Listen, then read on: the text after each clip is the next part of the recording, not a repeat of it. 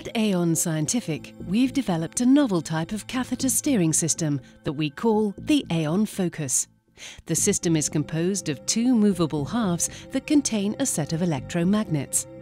The modular design of the Aeon Phocus allows for flexible use of the catheter lab and for integration with a fixed mono or biplanar angiography system.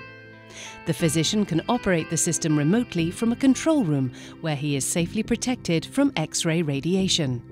With the two halves of the system parked away from the patient, the physician has good access to the patient and can make full use of the angiography system so that he can comfortably insert the required catheters through the sheath into the relevant heart chamber.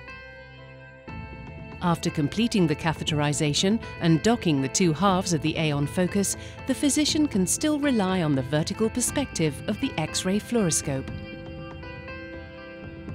Now the electromagnets can be activated to generate non-harmful magnetic fields.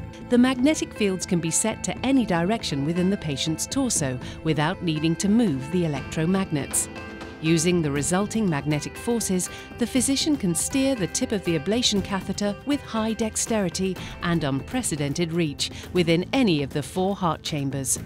Such control over the steering of the catheter is key to successful ablation.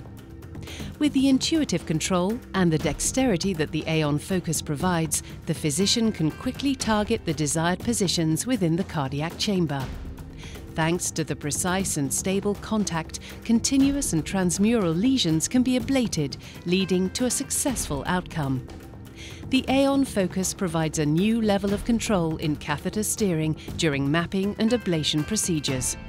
With its open and flexible design, the system adapts to any workflow in the cardiac electrophysiology laboratory, and it will bring considerable benefits for patients and physicians alike.